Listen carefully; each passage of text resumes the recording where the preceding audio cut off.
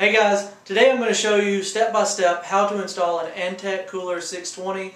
The process is the same for the same models by Corsair, Thermaltake, uh, Cooler Master makes one.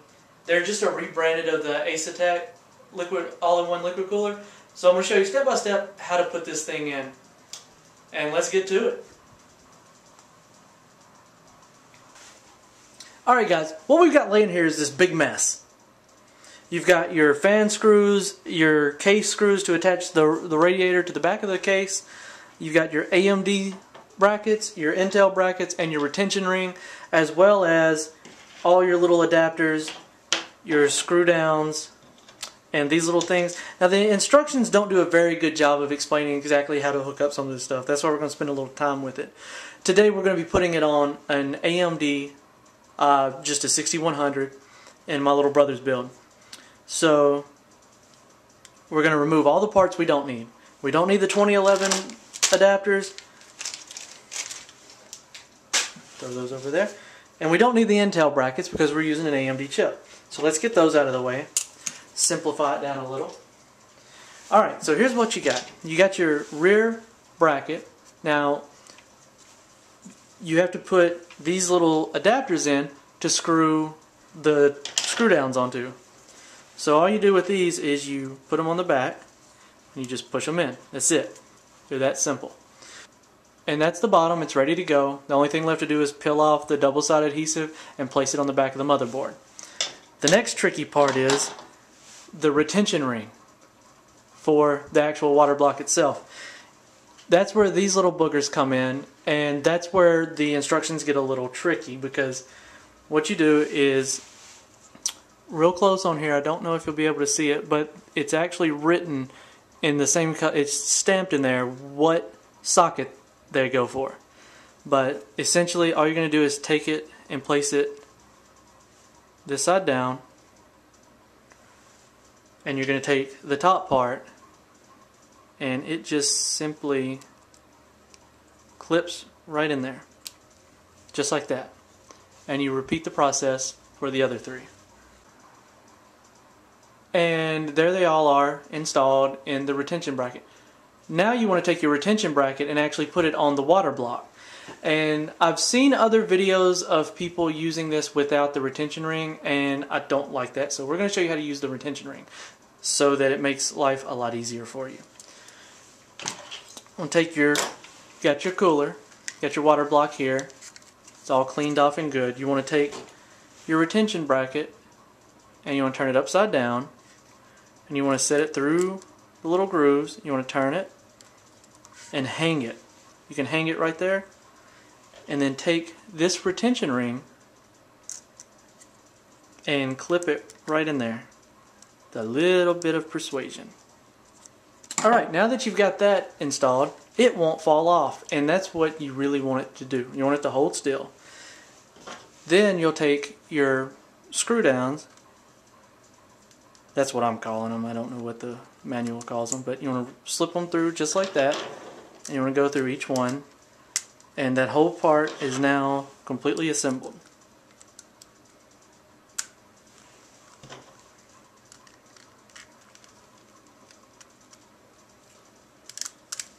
Alright, now the next step is to remove the stock cooler and the stock clip so that you can apply the bracket for the liquid cooler. Just pass that over me. Alright, now we've got the case laying on its side, and this is the part where we're going to remove the, the stock CPU cooler, and you remove it, just go ahead and unplug it. in there tight. Unclip it, real simple, and you just pull the booger right out. And it's done.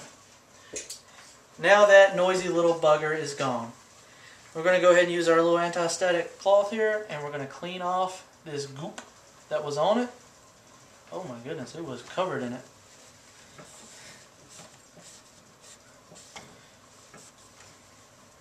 You really don't want to put your fingers all over it because that's going to transfer, that's going to leave oil residue on it which will create hot spots on the CPU and they already get warm enough as it is so you don't want to add to it.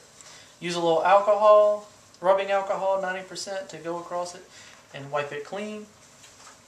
Set that to the side. Alright, now what you're going to do is you want to remove these four screws. And the one reason you want to lay it on the side is because the back of your case typically has a cutout for the so you can change this out. And if you lay it on a table, when you let these screws go, the back plate will just drop and then you can lift the case and remove the back plate easily. So we're going to go ahead and remove these and I'm going to use a bigger screwdriver.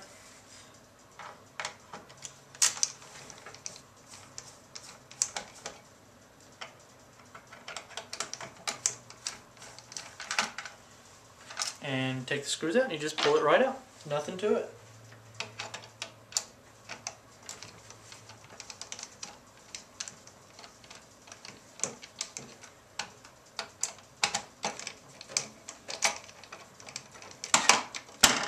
Alright, that little clunk was the back plate falling. Set that to the side and and you pull the back plate right out from under it. And then you set it to the side because you're not going to need it anymore.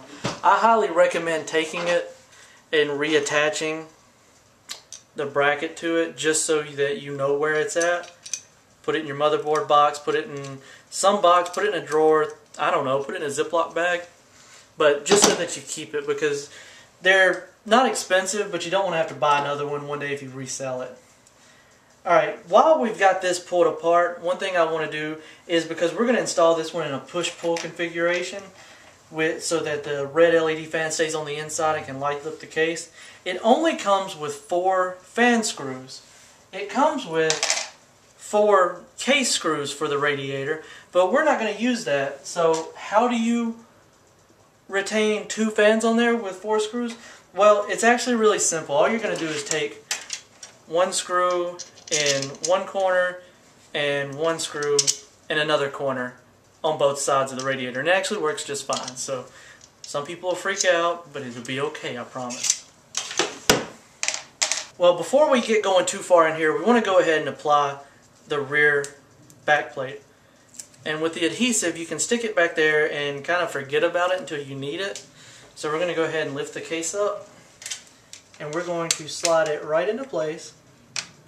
And we're going to push against it kind of firmly to get the double adhesive to stick real good. And now that that's there, we can go ahead and drop it down. Let's go ahead and drop this fan out real quick.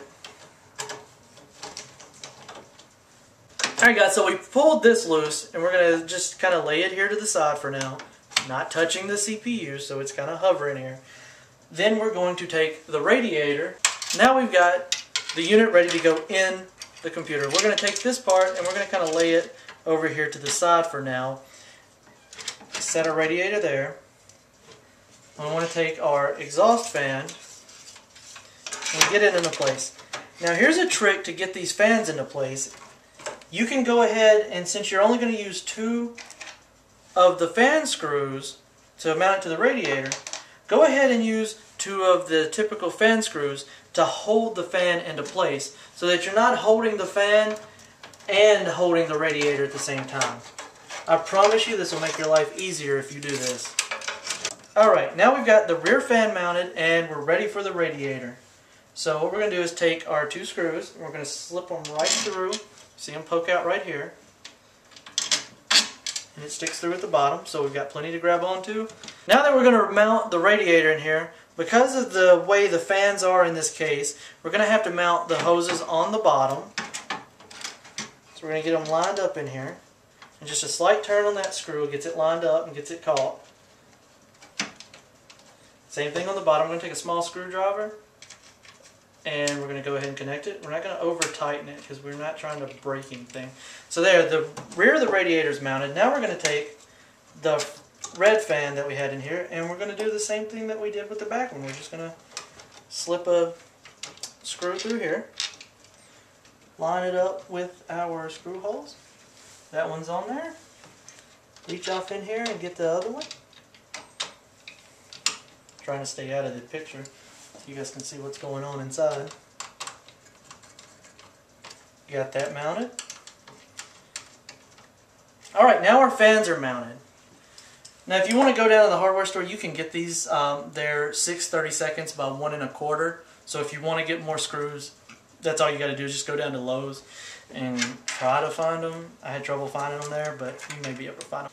With this build today, we're going to actually use Arctic Silver 5, and we're just going to use the pea method. We're not going to sit here and tell you guys how to use all this, because we're not getting into that debate. So we're just going to use a pea, and it kind of shot right out there. There we go. Now we're going to pull these cables out of the way. We're going to drop the CPU cooler right down. Now, once you've got the holes lined up, or the screws lined up with the bolts that go through the case, just tighten it down. All right, now we've done that. We've got we got the radiator completely mounted up. Tubes are ran. Only thing really left to do is connect the fan and connect the water block pump reservoir all in one unit to your CPU fan header. Alright, then all you really got to do is move your cables out of the way, clean it up a little. Now you've installed your Kuhler 620, your H55, your Thermaltake Big Water, your Cooler Master uh, Seidon. They all install this pretty much this exact same way. And the last trick is when you set your computer up and you turn it on for the first time and you hear a gargling, grinding sound, don't panic. Simply take your case and tilt it to the left and right. What that sound you're hearing is water bubbles that are trapped in and around the pump. Now, if you can mount your tubes at the top on the back, it'll help eliminate that even faster and keep it from happening. Alright guys, that's all there is to it. If you enjoyed this video, please like it, subscribe if you want to see more. We're going to keep doing these things because this is what we enjoy doing. And we appreciate the feedback and the comments. Uh, thank you guys. Have a nice day.